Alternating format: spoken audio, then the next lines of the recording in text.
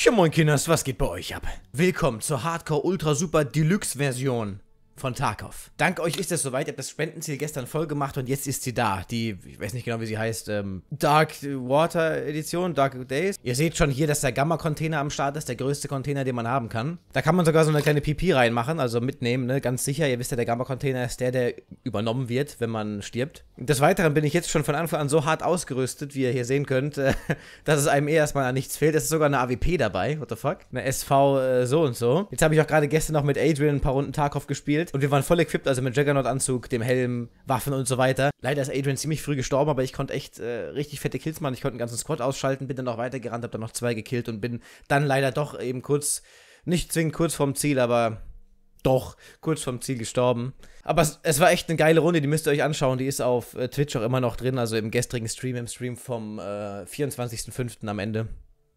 Es war ziemlich heiß. Und ja, jetzt dachte ich mir, ich hassle euch hier auch was Schickes hin. Zuallererst so zum Aufwärmen eine Runde Scaff. Jetzt habe ich die Kronen. Hoi! Jetzt bin ich halt Level 1, weil man das Spiel komplett resetten muss, wenn man sich ähm, eine neue Version holt und es aktualisiert dann. Das Level, das ich hatte, war lächerlich. Also ich glaube Level 8 oder Level 9 war es am Schluss und ich hatte eine Million Rubel und ein paar tausend äh, Dollar. Das ist, denke ich, wieder schnell drin. Und vor allem weiß ich ja jetzt, dass ich jetzt die Version habe, bei der ich bleibe oder bei der ich bleiben möchte. Und dadurch ist es auch jetzt wieder sinnvoller. Also als ich erfahren habe, dass ich das Spiel resetten muss, wenn ich die neue Version habe, war das kurz so ein leichter Einbruch der Freude über das Vorankommen im Spiel, weil ich alles ja wieder abgeben muss. Das kann zwar immer noch passieren durch Updates, also wenn ein großes Update kommt, kann es sein, dass alles resettet wird. Aber trotzdem bin ich bereits jetzt schon bei meiner, Vers wow, bei meiner Version, die ich haben möchte. Das ist ein Bot, nehme ich an, so wie der rumläuft. Adrian und ich wurden gestern so gebeutelt hier auf Factory. Ich werde jetzt einfach den Bot hinterherlaufen und den killen, dass ich erstmal eine Schrotflinte habe. Mit der Pistole kann man, glaube ich, kommen glaube ich, nicht arg weit. Exploring Bonus. Ach ja, genau. Ich bekomme jetzt nochmal die ganzen Boni. Neu gesch gut geschrieben, weil ich ja für das Spiel ganz neu bin. Ich werde jetzt nicht großartig herumlooten. Ich raste jetzt einfach voll aus. Oben wird geschossen. Hallo, drei Duck. Ist hier jemand? Schön lehnen. Jawohl. Da ist einer gelaufen, hast du gesehen? Haha. Jawohl, der eine hat einen fetten Rucksack. Ich muss schnell die Munition holen. Go, go, go, go, go. Wahrscheinlich kommen die anderen Bots jetzt gleich angelaufen. Ich guck mal kurz, ob die voll ist. Jawohl. Da unten ist einer auf der Treppe. Ich habe ihn gesehen. Ich glaube, der spricht sogar mit mir. Unter mir ist auch einer. Shit. Oh! Okay. Ich glaube, das war ein Spieler. Da kommt einer. Oh, zwei! Nein! Oh, beide hintereinander. Das war eine ganz schöne Frechdachsaktion, meine Herren. Seit wann greifen die Bots eigentlich gleichzeitig hintereinander an? Naja, immerhin hier diesen einen Spieler gekillt. Bei den Scavs weiß man leider nie, ob das jetzt Spieler waren oder eben nicht. So, und jetzt sind wir warm, ne? Jetzt können wir richtig ran an den Speck. Das heißt, ich werde mich jetzt hier einfach dick ausrüsten, schön Bodyarmor anziehen, den Helm anziehen, also schön auf äh, Aggressivität gehen. Ich weiß nicht, wie wir sind, das macht die Sachen zu versichern, aber ich mache es jetzt einfach mal. Denn an Geld kommen wir ja, wie wir alle eigentlich wissen, ganz gut dran. Deswegen sollte das so passen. So, jetzt werde ich direkt mal versuchen, da was Schönes rauszuholen aus Customs. Alter, wie der schon aussieht. Oh. Ich kann nur noch mal schwärmen von der Runde von gestern. Das war echt der Hammer. Also wir sind mittelmäßig aggressiv rumgelaufen, Adrian und ich. Und auf einmal kam eben ein ganzer Squad auf uns zu. Drei Leute, wir waren nur zu zweit. Und die waren alle ganz gut ausgerüstet. Nicht optimal, also nicht full equipped, aber schon ganz gut ausgerüstet. Und äh, leider haben sie Adrian direkt so eingekesselt, dass er nicht mehr hinter dem Train wegkam. Die waren praktisch direkt... Ähm, auf den Schienen, wo auch die Züge waren. Adrian hat sich hinter einem Zug versteckt, aber konnte von unten angeschossen werden und ich habe mich nach rechts hinter der Wand gerettet, habe dann einen geheadshottet, bin dann außen rumgelaufen, habe den anderen gekillt und dann am Schluss nochmal den dritten und dann kamen aber schon wieder weitere und äh, ich musste dann weg. Es war ein bisschen schwierig. Und auch vor allem sehr schade, weil da ja alles voll mit Loot war. Aber da kann man nichts machen, wisst ihr ja Bescheid, ne? So, gut. Jetzt habe ich diese AKS dabei.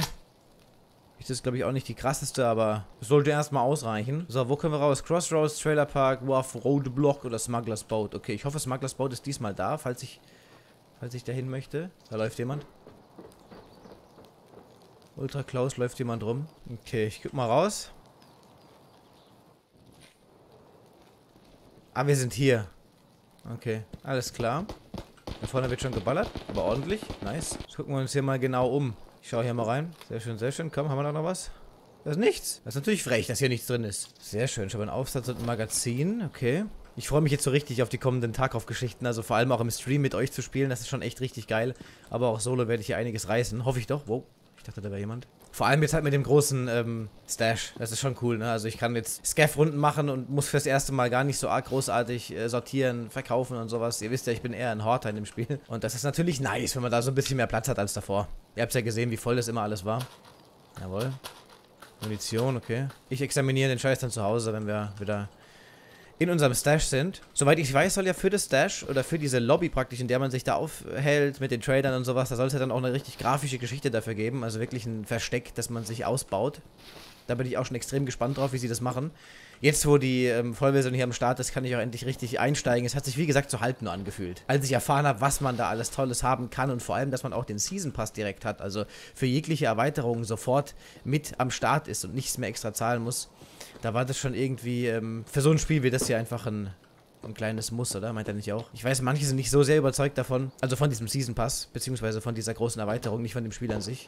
Ich denke, den meisten gefällt es. Ich bin so jemand, der bei, ja, bei Dingen, die ihm halt gut gefallen, speziell bei Spielen, der dann wirklich alles haben will. Ne? Bei Fallout habe ich mir auch damals äh, direkt für die Xbox alle Erweiterungen geholt. Für ähm, Fallout 3 und Co. Es ist eigentlich bei jedem Spiel so, dass mir sehr, sehr gut gefällt. Da hole ich dann direkt alles. Da läuft doch einer, oder? Oder regnet's? Weiß nicht so genau. Es klingt wie Regen oder, oder Steps. Aber es klingt so gleichmäßig und bewegt sich nicht. Ich glaube, ihr hört es wahrscheinlich kaum. So ganz leichtes Rieseln oder Bröseln oder sowas. Wer bröselt denn hier? Jetzt schaue ich noch geschwind hier drüben rein, ob das offen ist. Oh oh. Schüsse. Sehr close. Die Schüsse gerade eben die letzten zwei.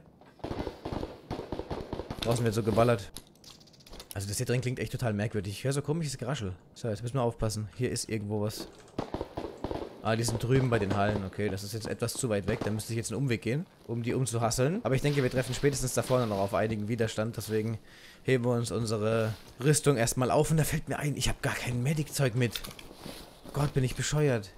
Nein. Okay, okay, okay, okay. Das ist jetzt irgendwie kacke. Das ist echt bescheuert. Was habe ich gemacht? Gerade gestern hat was davon gehabt im Stream und ich habe mich voll bepackt mit allem möglichen und war so beladen mit Bandagen, Splints und diesem komischen AI-Zeug. Jetzt gehe ich einfach nackt los. Mit meinem Anzug? Bin ich bescheuert? Immerhin habe ich hier was zu essen gefunden. Das ist ja schon mal Ebbes.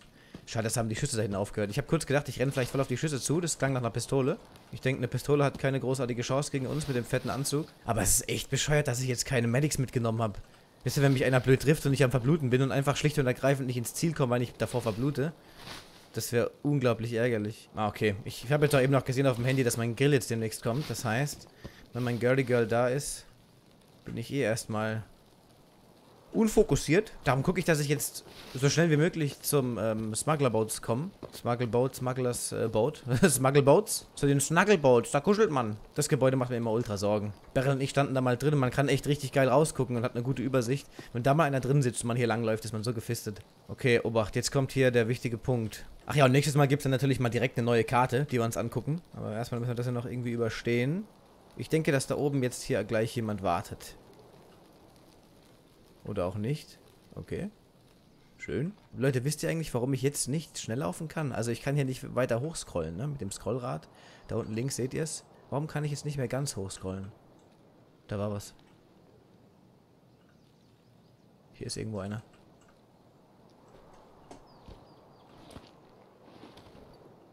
Fuck, fuck, fuck, fuck, fuck, fuck.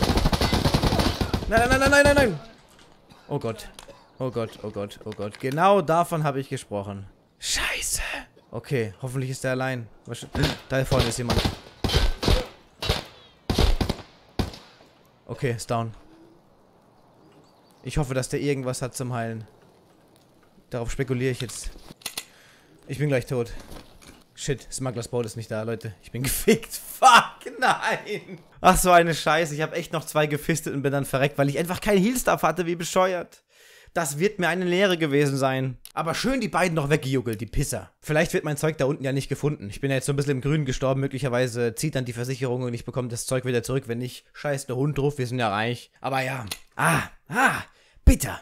Merkt euch das immer, Leute. Merkt es euch jedes Mal. Nehmt Heal Stuff mit. Verschissen nochmal. Jetzt haben wir hier noch diesen Kram, den ich denke, ich werde es einfach verkaufen. Obwohl der Schalli natürlich gar nicht mal so uncool ist, ne? Aber wisst ihr was, den behalte ich jetzt mal. Ich will ja auch modden und hin und her und deswegen kann ich ja nicht immer alles verkaufen. Äh, das mache ich dann, falls ich mal Geldnot habe. Aber so ist erstmal alles in Ordnung. Okay, Leute, echt eine bittere Sache, aber hey, was soll's? Wir wissen jetzt Bescheid, Heal Stuff und fertig ist der Lack. Vielen, vielen Dank, dass ihr hier zugesehen habt. Dankeschön auch für die Daumen nach oben und so weiter und so fort. Ihr könnt auch gerne hier natürlich wieder, wenn es euch gefallen hat, Daumen favorisieren, kastrieren, ornanieren und so weiter und so fort. Und ich bedanke mich an dieser Stelle auch extra noch bei meinen Patreons, Laurin und meiner Swin. Vielen Dank an euch für die Unterstützung. Vielen Dank an alle für eure Unterstützung. Macht's gut. Bis zum nächsten Mal. Ciao, ciao.